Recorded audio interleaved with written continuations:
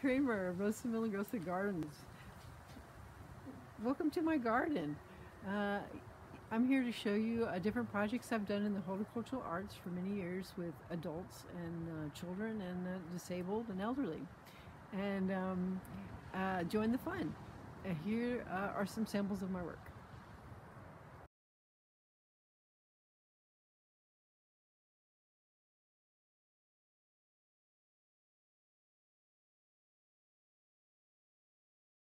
My ladybug is beautiful in all things. Swan brings beauty where it's not normally seen.